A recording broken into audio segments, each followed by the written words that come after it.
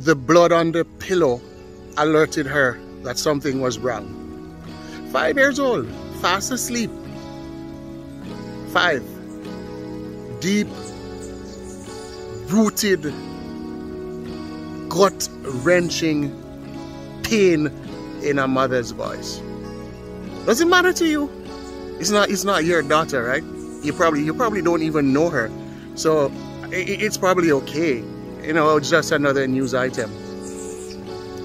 Will it only matter if and when it's it's your child, your daughter? Is this is this the, the is this what we have come to accept? Is this what we have come to normalize?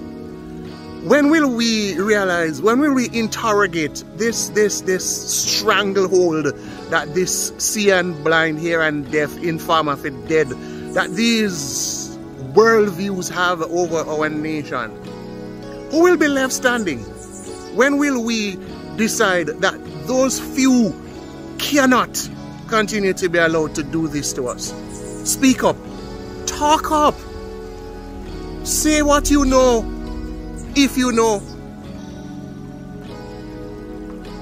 It's just too much now. Speak up. And for all those who are alleged to be in the security forces who are bringing back information, because that is out there too, and that is part of what is fueling the silence.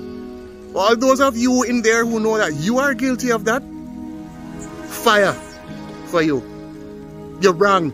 You're wicked. You are part of what is wrong with this country. This is a cry on behalf of that mother and the, the many others. We cannot continue like this. Speak up. Stop. So let's interrogate our values now, shall we?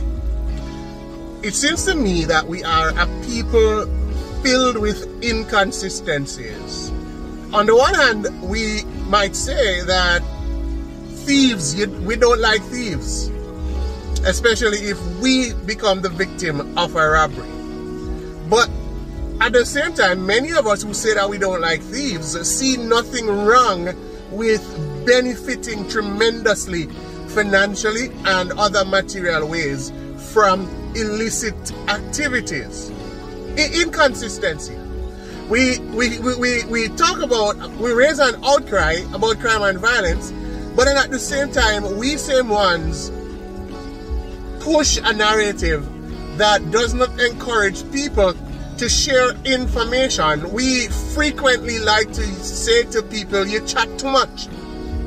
And then we support the narrative and the, the, the voicing of it in music, in Farmer for Dead. Do you realize that these are some of the very things that cause the high crime and violence? That, that facilitate them?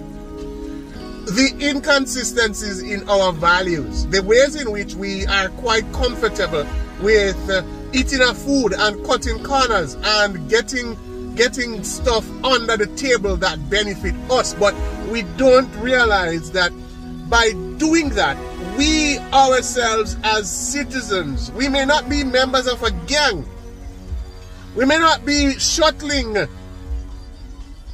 weapons or drugs, but we have to interrogate our values. Those are the things that unconsciously get passed on to the next generation.